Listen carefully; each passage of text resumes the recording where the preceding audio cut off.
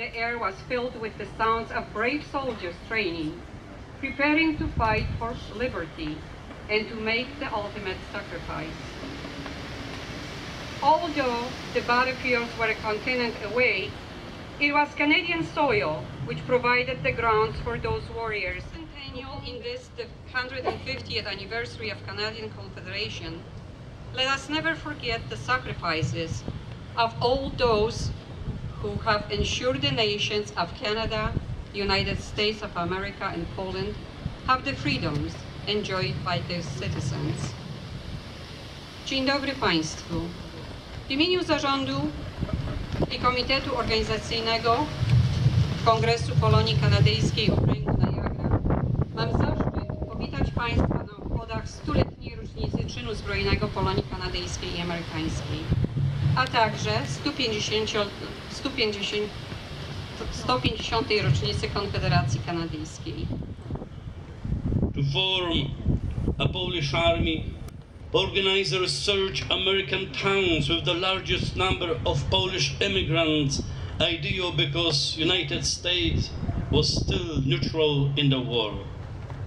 But when United States became involved and started drafting soldiers, organizers of the Polish army moved their volunteers to Canada so they couldn't be drafted. The effort in Niagara on the Lake represented the new strength of Polish people who still long to take back their homeland. The soldiers had miserable conditions. Polacy poprosili rząd w Ottawie o stworzenie obozu szkoleniowego właśnie tutaj, w tej małej miejscowości Niagara on the Lake. I władze Kanady w połowie 1917 roku zgodziły się i tak powstał obóz ćwiczebny Kościuszko. Ojca i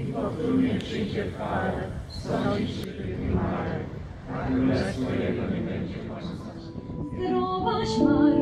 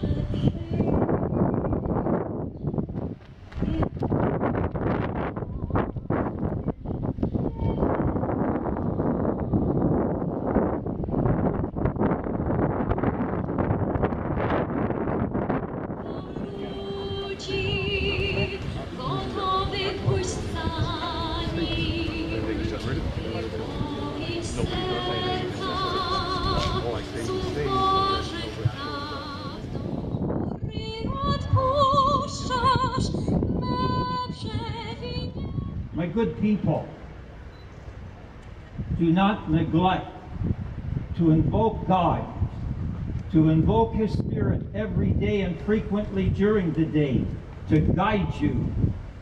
This is very important today. We live in a magnificent country, but there are certain things that are happening that are a little concerning. We have no law to protect the life of the unborn. We have introduced the law today because supposedly we're autonomous to kill ourselves. We have to pray that the minds of people will change to recognize that they are subject of a creator who loves them and will call them. We're not autonomous as individuals. We belong to someone who loves us very much and wants us to be with him and has shown us how to live, how to love one another. My good people, our world is fracturing. And it's fracturing because we're denying the fatherhood of God and the brotherhood of man. And so I commend you today for being here, for honoring those who fought for freedom, who fought for freedom of conscience, which is being attacked today. And so, God bless you for being here and for participating this this magnificent prayer that the Catholic tradition has of the sacrifice of the Mass. God bless you.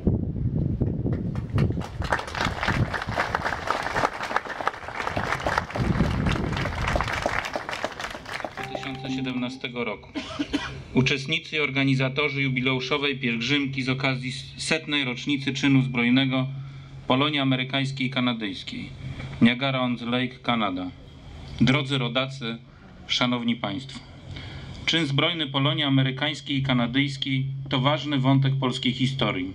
W dużym stopniu przyczynił się on do zwycięstwa państw Ententy w I wojnie światowej oraz do odrodzenia niepodległej Rzeczypospolitej. Bohaterowie tych zmagań, którzy przebyli Atlantyk idąc za patriotycznym wezwaniem, pozostają wspaniałym wzorem i świadczą o prawdziwości polskiego hasła za wolność waszą i naszą. Mija właśnie 100 lat od chwili, gdy 4 czerwca 1917 roku została powołana we Francji Armia Polska. Ogromną rolę odegrali w niej ochotnicy ze środowisk polonijnych Stanów Zjednoczonych i Kanady. Wzruszające jest, że wielu spośród nich było potomkami polskich emigrantów i nie znało już starej ojczyzny z własnych wspomnień, ale gotowi byli z najwyższym poświęceniem walczyć dla Polski. Dzięki wsparciu kanadyjskich władz i ogromnemu zaangażowaniu północnoamerykańskich drużyn Sokoła, tutaj, w Niagara on the Lake, utworzono wielki obóz szkoleniowy, do, do którego napłynęło ponad 22 tysiące polonijnych ochotników. Stąd ruszyli oni na zachodnioeuropejski front, stanowiąc ważną część polskiej armii walczącej we Francji, zwanej od, od koloru mundurów Błękitną Armią. Walka u boku aliantów postawiła Polskę w szeregach zwycięskiej koalicji i wzmocniła jej pozycję w powojennych negocjacjach. Gdy dowodzona przez generała Józefa Hallera Błękitna Armia przybyła do odrodzonej Polski jako formacja najlepiej uzbrojona i wyszkolona, stała się wielkim atutem naszych sił zbrojnych w walce o ukształtowanie granic i skonsolidowanie suwerenności. Męstwo i, i kunszt wojskowy Halerczyków odegrały wielką rolę, gdy w wojnie polsko-bolszewickiej rozstrzygały się losy Rzeczypospolitej Europy. Nigdy nie zapomnimy, ile zawdzięczamy żołnierzom, spośród których tak wielu przybyło z Ameryki Północnej, aby służyć Polsce i ustanowieniu sprawiedliwego europejskiego ładu. Serdecznie pozdrawiam wszystkich uczestników i organizatorów jubileuszowej pielgrzymki, upamiętniającej stulecie czynu zbrojnego Polonii Amerykańskiej i Kanadyjskiej. Dziękuję, że od lat spotykają się tutaj przedstawiciele polskich środowisk z Kanady i Stanów Zjednoczonych, aby uczcić heroizm Halerczyków. Przybywają Państwo, aby dać wyraz łączącej nas pamięci i dumie. Cmentarz Halerczyków Niagara on the Lake to miejsce niezwykłe. To jedyny polski cmentarz wojskowy w Ameryce Północnej. Byłem tutaj przed rokiem, z ogromnym wzruszeniem pochylając głowę przed mogiłami polskich żołnierzy, którzy w trakcie szkolenia w kamp Kościuszko stali się ofiarami groźnej epidemii. Było dla mnie zaszczytem przekazać wówczas opiekunom tego cmentarza biało-czerwoną flagę. Miejsce to już na zawsze będzie przypominać o wkładzie Polaków w budowanie wolnego, demokratycznego świata i o serdecznych więziach polsko-kanadyjskich i polsko-amerykańskich. Niedaleko stąd, na terenie parafii świętego Marka pochowana jest świętej pamięci Elizabeth Asher, która ofiarnie spieszyła z pomocą chorym polskim żołnierzom i stała się pierwszą kanadyjską osobą cywilną odznaczoną przez rząd odrodzonej Polski orderem Polonia Restituta. Dziękuję wszystkim, którzy pielęgnują pamięć o łączącej nas historii i umacniają przyjazne, sojusznicze relacje między Polską i Kanadą oraz Polską i USA. Z całego serca pozdrawiam milionową polsko, polską społeczność w Kanadzie i życzę Państwu wszelkiej pomyślności. Z wyrazami szacunku i sympatii prezydent Rzeczypospolitej Polskiej Andrzej Duda.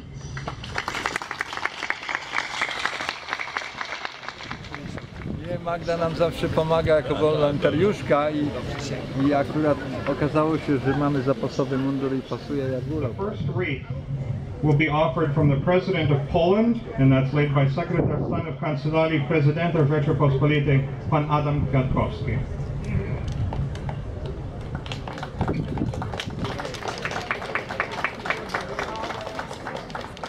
The next wreath from the Canadian Polish Congress Okręg Niagara, pani Zofia Soja złoży wieniec i oddanie hołdu dla pani Elizabeth Carr Asher.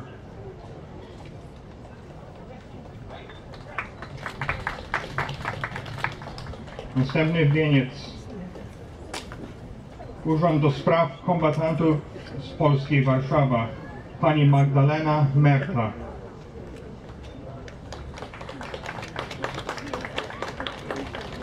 Następny wieniec.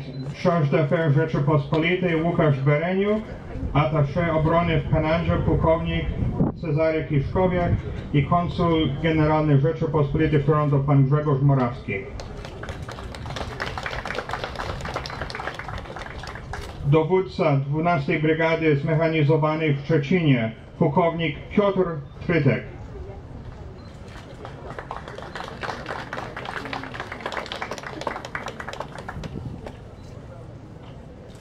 Kongres Polonii Kanadyjskiej, Zarząd Główny, pan Władysław Lizoń, prezes.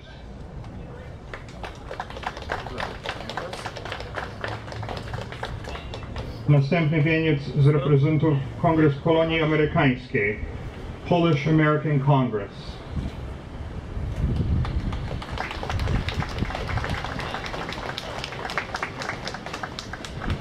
From the Government of Canada, Member of Parliament Chris Biddle.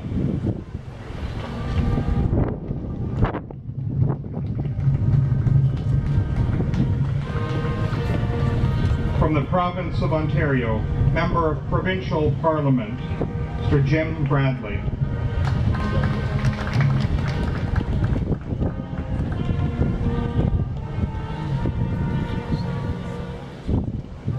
Stowarzyszenie Polskich Kombatantów, Zarząd Główny.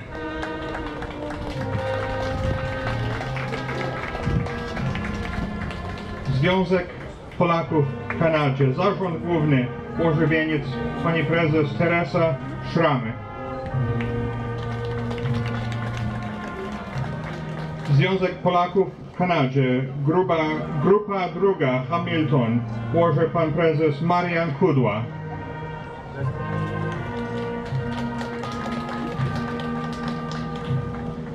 Stowarzyszenie Weteranów Armii Polskiej, placówka 114 Toronto, komendant placówki, pan Krzysztof Tomczak.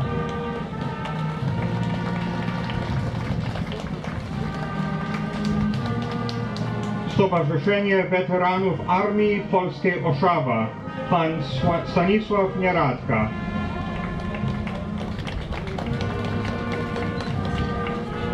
Stowarzyszenie Polskich Kombatantów koło numer 8 Ottawa.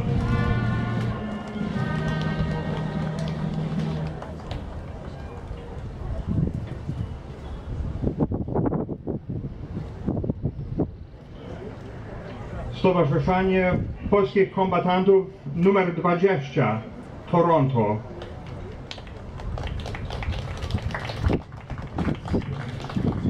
Stowarzyszenie Polskich Kombatantów koło numer 27 St. Catharines.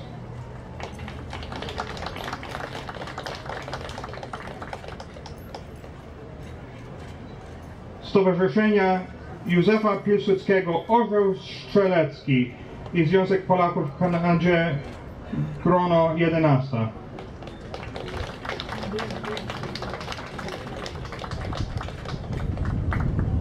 Royal Canadian Legion, polska placówka numer 315 Hamilton.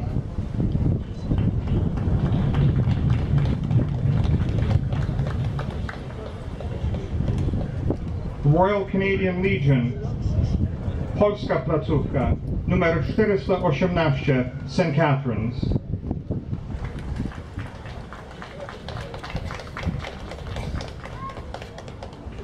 Stowarzyszenie Lotników Polskich Kanadyjskich Skrzydło Warszawa numer 430 pan Kamiński i pan Radecki.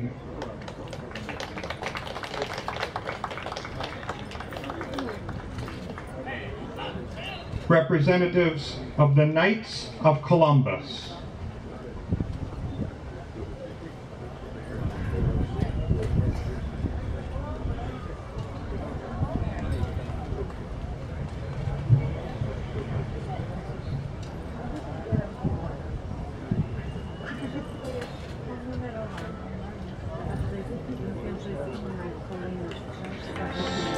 Stowarzyszenie Polsko-Kanadyjskie St. Catharines, prezes pani Maria Turczyniak.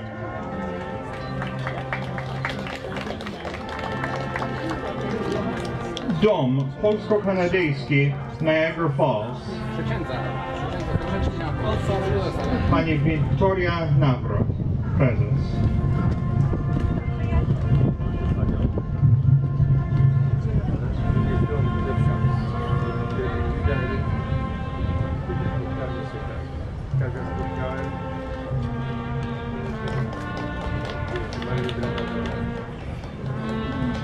Związek Narodowy Polski, Gmina Pierwsza Toronto, może pan Habrowski, prezes of Branch 1, Vice President of the Head Executive.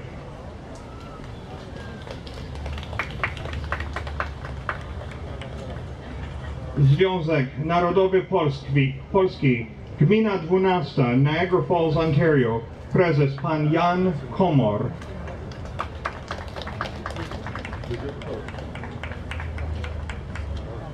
Kongres Polonii Kanadyjskiej Okręg Hamilton, pani Helen Głogowska.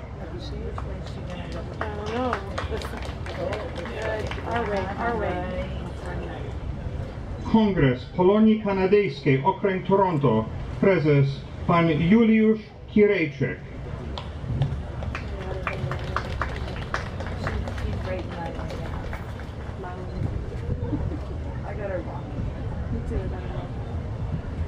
Kongres Polonii Kanadyjskiej Okręg Oszawa.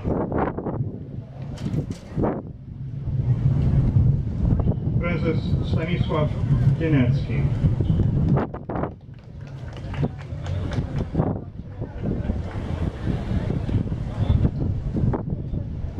Kongres Polonii Kanadyjskiej Okręg Mississauga.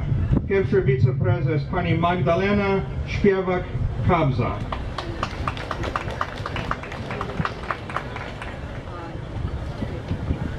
Kongres Polonii Kanadyjskiej Okręg Kitchener. Polish American Congress, Western New York Division, President Mr. James Wawicki and Vice President Irena Włoszczak. Związek Harcerstwa Polskiego, Kupiec Pieniędzy of North America, District 4.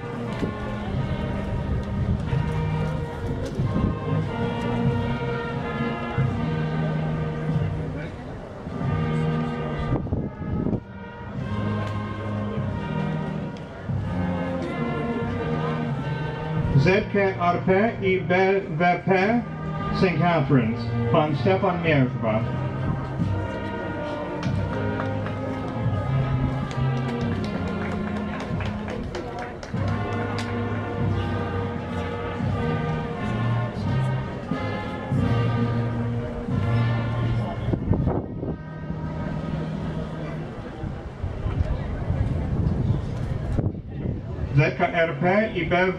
St. Catharines, pan Stefan pan Marek.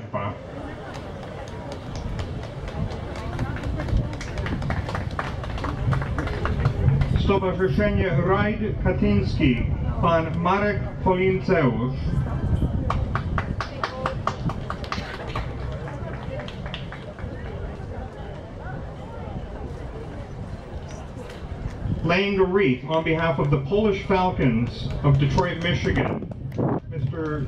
Jim Jaczkowski.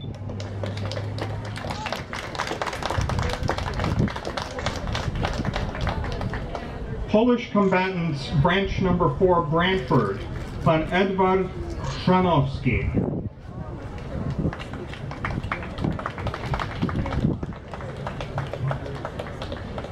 Koło Pań, Nadzieja, SPK numer 20, wiceprezes pani Ela Dragunowski.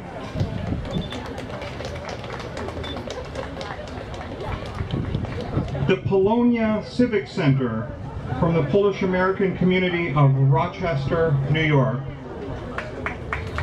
Pan Stephen Floor.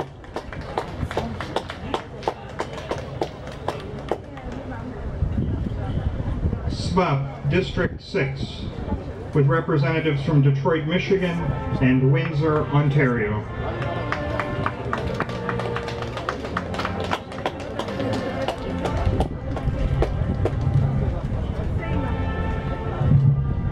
SWAP District 37, Boston, Massachusetts. Representatives Maria Stashevich and Pan Jerzy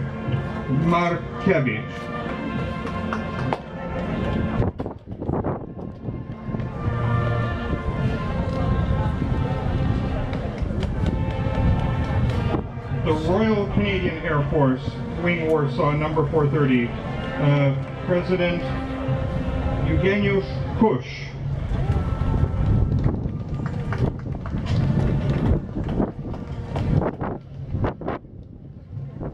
Rodacy, kombatanci i weterani, żołnierze, harcerze i harcerki, młodzieży. Stajemy dzisiaj przy grobach Halarczyka na Egron Lake do uroczystego apelu pamięci, aby oddać hołd znanym i nieznanym żołnierzom polskim broniącym granic i walcząc o wolność, całość i niepodległość Rzeczpospolitej.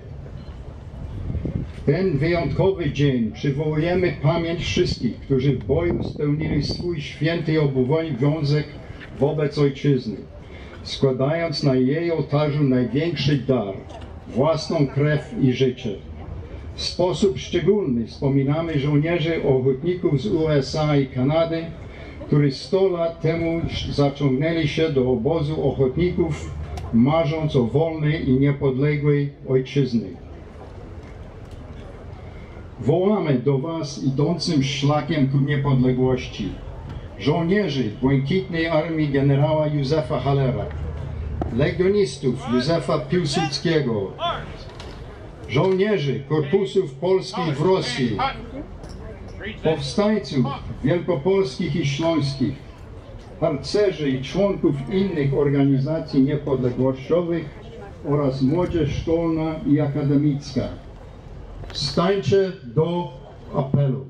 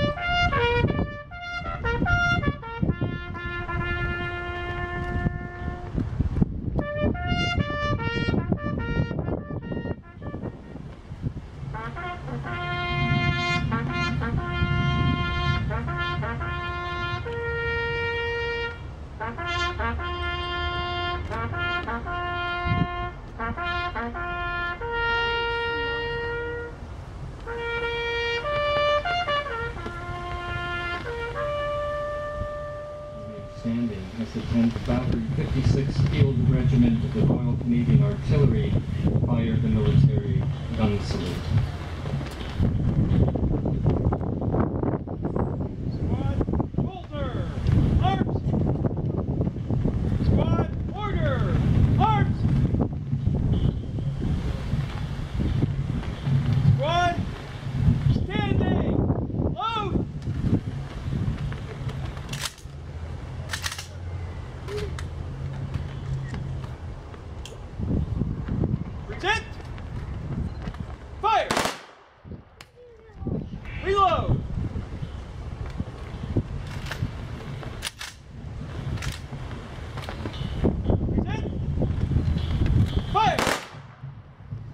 Reload.